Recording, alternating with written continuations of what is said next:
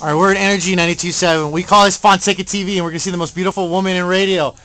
It's Ali. Woo! All right, do some magic for us. Talk on the air or something. I It's not time yet? Uh, no. All right. I'm in fact going into a stop set. So When, when is uh, Joey V come on? How long do we have? He's on at 3. What time is it right now? So quarter after 1. So what's Kid Loose doing here so early? I have no idea. All right, take me on a tour of all the stuff that happens on the board. Well, I think probably the, the hardest thing when I first got here was figuring out which mouse went for what. Okay. You got the board here, you talk with that button over there, and you run the music over here. You can see where all the commercials are here, where your song is in its playing nest. There's a technical term, playing nest, right in here. You watch that little bar.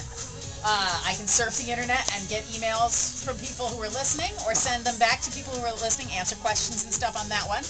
And I can talk to people on the phone and record their phone calls. Okay, so you do all this, and what time are you on? I'm on from 10 till 3. 10 to 3, and it's Ali Wild. Look how sexy she is. Damn, she's sexy. all right, we got to see what Kid is doing now. All right.